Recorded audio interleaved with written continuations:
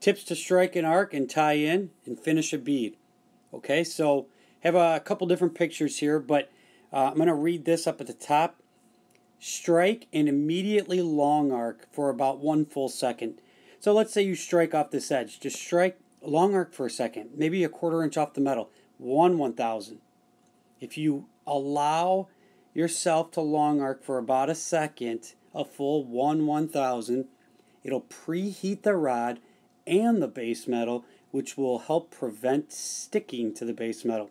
So if you're one of those new welders and your electrode is constantly sticking, you need a long arc one 1000, create some heat, and it'll it'll go away. Your your issue will uh, no longer be there. Also gives time for shielding gas to build up and, and slag to form as well, especially with a 7018. I'm going to write that one down. That people get porosity here at the start because they don't pause. You have to strike. Build up shielding gas. We're shielding out the atmosphere and anything else. The slag is cleaning the base metal and bringing those impurities to the to the surface of the bead. So strike and give yourself some time. Once you get going, go slow, stay close. Go slow, stay close. I can't stress that enough. Uh, if you're farther away, you're shooting spatter everywhere. You're preheating the entire part uh, more than it probably needs to. You're creating a heat affected zone that's bigger than necessary. Uh, there's a whole lot that goes with there with that issue. So strike, stay close, go slow. Okay? So you strike, doing a little stringer going across, get to the end, and then you're going to hold the filler right at the end of the pass to fill the crater, the hole that was created by the heat of the arc. So that arc is immediately melting that base metal. It's six to 10,000 degrees. It's hot. That base metal is going to melt around 2,800 degrees. We're talking specifically steel, so it's not going to have a problem melting that base metal, creating a little bit of a crater. So we want to make sure that we fill that crater when we get to the end. Anytime you get undercut on these sides, it really in any process is that your arc cut the metal, but you just didn't fill it. So is it an arc length issue? Is it a speed issue? Is it an amperage issue? It could really be any of these, okay? If you're going to tie in, then you can leave the crater there because you're going to tie in, okay? So that's all I'm saying there. Just avoid the fill because we're going to tie in. So here's a little tip when you tie in. Use a G shape but move quickly. Strike slightly in front of the leading edge of the crater. So strike up here, just in front of the crater that you left. Carry it backwards in a C shape first. So strike, carry it back, C, follow the edge of the crater. You're tracing those edges, and then kind of come to the middle, and then just drop a little bit extra in the middle, and then get out of there. This is a pretty quick thing. It happens you know, you strike, carry back, quick C into a G, boom, get out. Then you can get back into your whip pause, your stringer, your weave, whatever it is. Uh, and actually, weave could be different because you might be carrying all the way across like an L shape, but we show that in our classes as well. Okay, so that's strike, tie in, finish a bead. Strike, long arc, build up gas, slag, tie in, C to G shape, and also fill your craters. Okay, let's go ahead and look how we stack metal in two different joints. So we have both a fillet weld, which is specifically a T, and then we have a groove weld, and this one specifically a butt weld. So what I want to point out is this is a 90 degree T, and it's kind of cool how this works. So I'm going to point this out.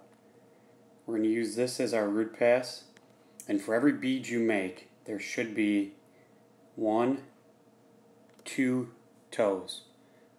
Okay, so each side is a toe. Okay, when it's a 90 degree T, this works out fantastic. Uh, I'd say 99% of the time. If you see uh, one, two toes, stack two beads,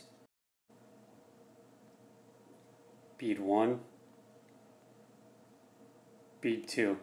Okay, now you should be able to see one, two, three toes, stack one, two, three beads. Okay, and it, and it works good. Obviously, this animation isn't uh, probably the best, but you know you're not going to have these valleys in there. It should be flat across to slightly convex. Now looking at the groove weld, we have a uh, 45 degree V groove. The angle is probably irrelevant. Uh, chances are you'll never see a 90 degree V groove. Okay, that's uh, not a good method. You wouldn't cut both of these at 45 and then have a 90. Um, you're going to create a huge heat affected zone and you'll have other issues. Anyways, so if we were to try to stack like we did over here where we went one, two, three, so on and so forth, we could run into this problem. So you get your root pass in there, no problem. But then you try to stack two stringers, it's not going to happen. Okay, you're not going to be able to cut in like that. So really what's going to happen is this is going to start stacking up unequally, even if you can get to that. Or maybe even you have some incomplete fusion here. So let's try that again. You know, maybe you do a slight weave on the second pass or hot pass, whatever you want to call it. Next one, see if you can get a couple stringers in there. Okay, we kind of fill it out. How about one stringer and then one slight weave? That seems to bring it out pretty equally. A couple of stringers, maybe two side by side, maybe that in the middle. A couple more stringers, bringing this just below flush. Okay, and then we cap it out. And so maybe this cap is four slight weaves or four stringers or maybe two weaves. It, it really doesn't matter. So what I want to point out is what I wrote up here.